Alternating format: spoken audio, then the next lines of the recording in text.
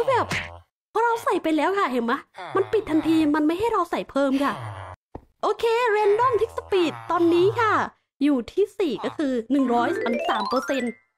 เนี่ยดินมันเหมือนเสื่อมสลายคุณภาพเหรอสวัสดีค่ะทุกคนวันนี้ค่ะ เราอยู่กันใน Minecraft Map Skyblock Beyond ค่ะ Skyblock ที่มีอะไรที่มากกว่า Skyblock ทั่วไปนั่นเอง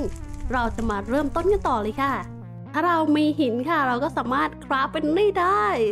เตาเผานั่นเอง quest complete ค่ะวางลงไป แล้วถ้าเราเอา charcoal เผาด้วย charcoal ค่ะ ก็จะได้เป็นสิ่งหนึ่งก็คือ coal โอ้ความไวในการเผาสุดยอดมากนะคะเนี่ย ก็แปลว่ามันมีการ custom เรื่องนี้มานั่นเองแล้วก็มหากรรมแห่งการแปรรูปย้อนกลับค่ะเอาโคที่เรามีครับรวมกับคอ b สโตนสี่มุมแบบนี้ค่ะ เราก็จะได้เป็นโคออโอ้สุดครับ หลากหลายมากมายจริงๆนะเนี่ยที่ถูกเพิ่มเข้ามาใหม่ แล้วมีอีกอย่างที่เราแบบทึ่งมากเลย เอาคอ b สโตนครับรวมกันอย่างนี้ค่ะเราจะได้เป็น police a n i s i t e a n i s i e ที่อัดบล็อกนั่นเอง เอามา เขาบอกว่ามันเป็นส่วนสำคัญที่จะทำให้เราคราฟไอรอนค่ะ แล้วเราก็เพิ่งสังเกตค่ะ ว่าเวลาที่เราสำเร็จ quest อะในบาง quest อะมันจะมีรางวัลให้มาใช่ไหมอย่างเช่น ตอนนั้นค่ะเราได้นี่ไง dark oak sapling มา เราก็งงว่าเอ๊ะเราได้จากไหนก็คือเป็นรางวัลนั่นเองค่ะ ในรอบนี้เราก็ได้คอ b สโตนมาเป็นรางวัลการเล่นสูตร craft ที่ craft วนไปวนมาใช่ไหมคะแม้มันจะแบบไม่มีอะไรนะ แต่เวลาที่เราเจอสูตร craft ใหม่ๆอะไรอย่างเงี้ยเราก็รู้สึกว่ามันคือแบบ โอ้โห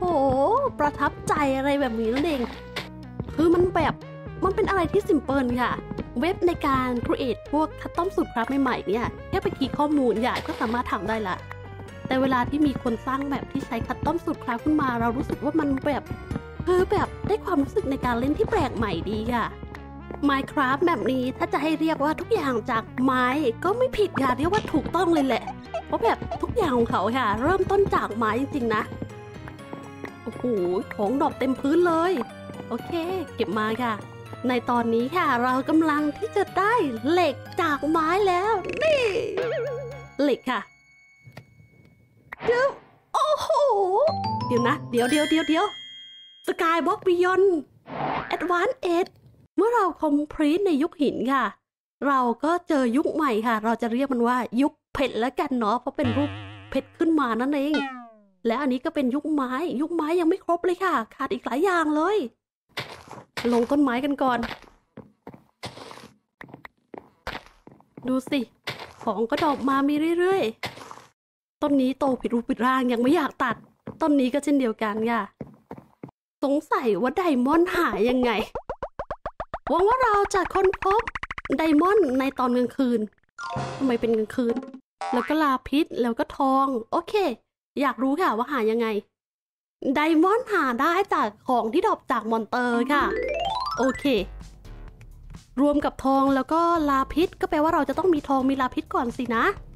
ทองหาได้จากขนแกะสีเหลืองครับรวมกับ iron แล้วเราจะหาขนแกะสีเหลืองยังไงล่ะเนี่ยส่วน lapis หาได้จากดอกไม้สีฟ้าครับรวมกับเหล็กแล้วก็ coal แล้วก็ถังน้ำค่ะ อัปเกรดเครื่องไม้เครื่องมือของเราให้กลายเป็นเครื่องไม้เครื่องมือในระดับเหล็กเรียบร้อยค่ะ เพราะว่าคงจะทำแบบเพชรไม่ได้เนาะดูจากความยากของมันแล้ว เหล็กก็ใช้ได้ค่ะนี่มันไวขึ้นกว่าเดิมอย่างเห็นได้ชัด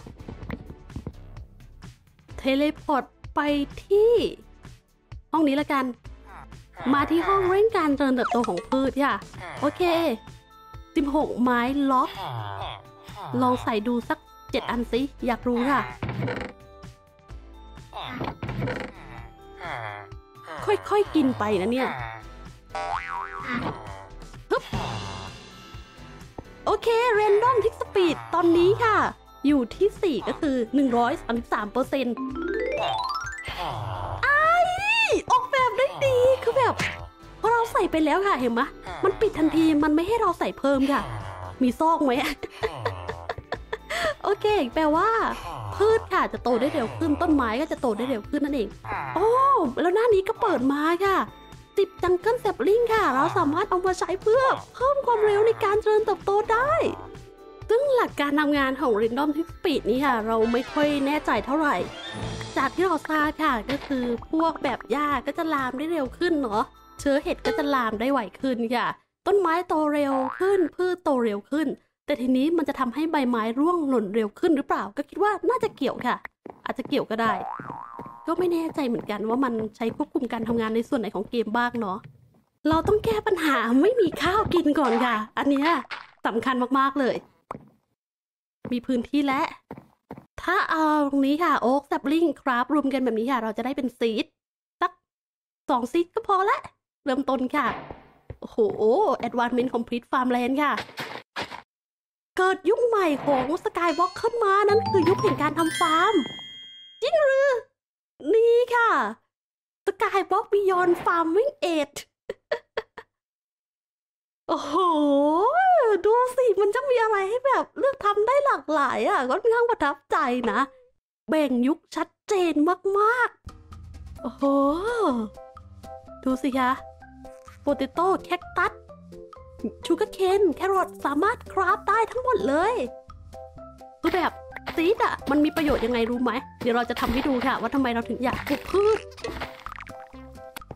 ใช้โต๊ะคราฟค่ะ แต่เดิมใช่ไหมถ้าเราต้องการดินค่ะ เราต้องทำแบบนี้รวมแบบนี้ค่ะ เราจะได้เป็นดินหนึ่งก้อน ซึ่งมันใช้ตั้งสองแซปลิงแน่แต่ถ้าเรามีสีค่ะ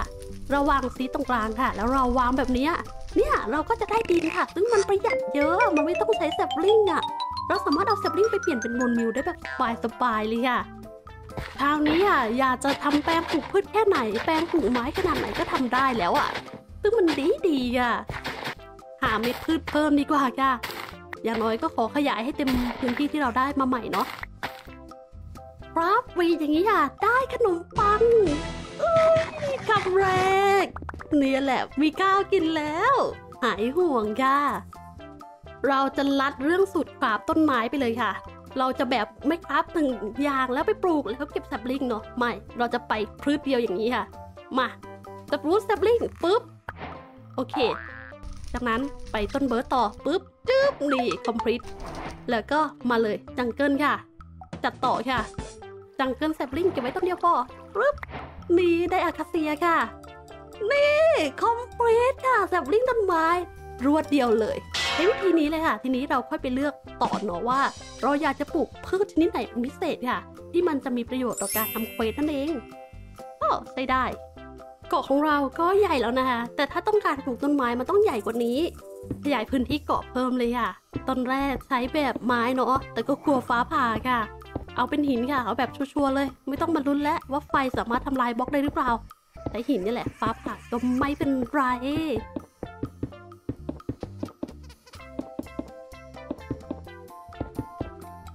มีพื้นที่น่าจะใหญ่เพียงพอแล้วค่ะ มา ต้นแรก จังเกินแซบลิงไปเลย เอาเป็นสกูตแล้วกัน เว้นอีกหน่อยเอาเป็นต้นเบิร์ดแซบลิงค่ะ แล้วก็ตามด้วยอากาเซียค่ะ นี่สวย นั่นแหละสฟรุตก็ได้โอ้นี่ค่ะคือต้นไม้ที่หลากหลายชนิด แต่ดักโอ๊กค่ะ มันมันครามไม่ได้อะ เราได้ดาวโอ๊กแซปลิงค่ะ มันเป็นรางวัลหนึ่งชิ้นอะซึ่งถ้าจะปลูกให้โตค่ะ มันต้องใช้ตั้งแบบสี่ต้นนะใช่ไหมมันเป็นต้นที่ต้องปลูกแบบสองคูณสองไม่รู้ค่ะว่าต้นไม้พวกนี้มันจะทำประโยชน์อะไรได้บ้าง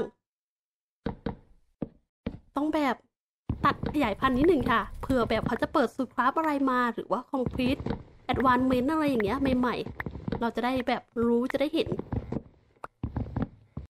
สปรูตไม้ขาวค่ะ คือภาษาไทยนั่นเอง เนื้อไม้สีขาวนวลสวยงาม แล้วก็acacia ค่ะ ชื่อภาษาไทยก็คือ acacia นั่นแหละเนาะเขาไม่ได้เรียกมันว่าไม้แดง หรือเรียกมันว่าไม้แดงก็ไม่แน่ใจค่ะ ในเซิร์ฟเวอร์เขาเรียกกันว่าอะไรเอ่ยปึ๊บนี่ได้คืนมาแล้วค่ะ jungle ส่วนต้นอื่นๆก็ต้องลุ้นให้มัน drop อ้อจริงด้วย ใบหายไปเร็วขึ้นนะเนี่ยต้น birch มาซี่ ได้ค่ะ ได้คืนมาแล้ว โอเค spruce ก็ได้คืนมาacacia ก็มีเยอะแล้ว ก็แปลว่าใช้ได้ค่ะปลูกไป spruce ไม้ขาว acacia ค่ะ นั่นแหละ ชอบค่ะ ตรงที่แบบหนึ่ง sapling เนี่ย คือสิบ bone meal อะขยายพันธุ์ได้เรื่อยๆอะดีดี sapling เหลือแค่ไหนค่ะ เอามาเปลี่ยนเป็น bone meal ให้หมด เร่งการโตเลยค่ะ ไม่ต้องรอ ไม่ต้องเร่ง tick speed เร่งมันด้วย bone meal เนี่ยแหละ รู้สึกว่าการปั๊มอย่างนี้ค่ะ มันทำให้เหมือนดินมันจะพังนะเนี่ยใช่ไหมใช่ทุกครั้งที่เราเก็บพืชค่ะ เนี่ยดินมันเหมือนเสื่อมสลายคุณภาพเหรอโดนกระทบกระเทือนอะไรอย่างนี้เอ้าเฮ้ยนี่มันคืออะไรทำไมทำไมดินสามารถเสื่อมสลายคุณภาพได้นี่ค่ะเมื่อเราเก็บมาสักพักเห็นไหมดินมันจะเริ่มมันจะเริ่มปริแตกค่ะ เฮ้ย มันระบบอะไรนี่ ซึ่งแบบปกติถ้าเราสกิดธรรมดานะ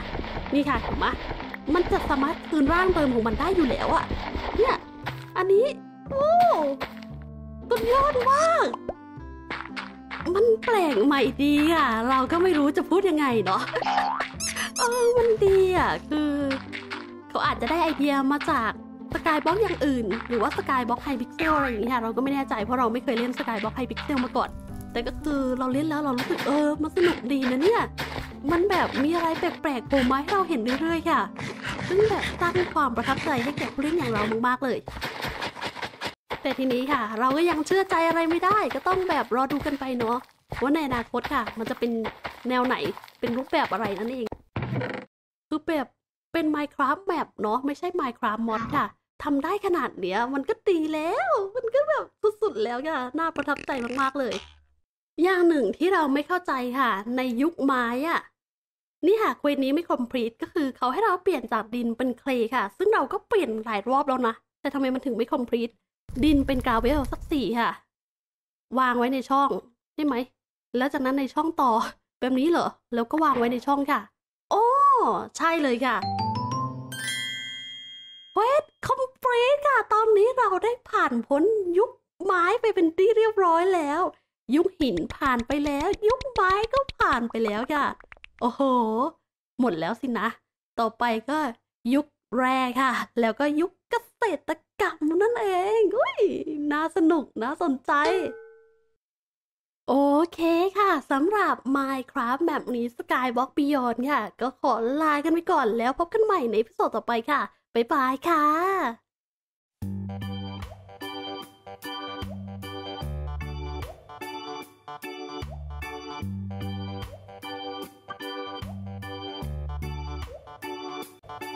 Thank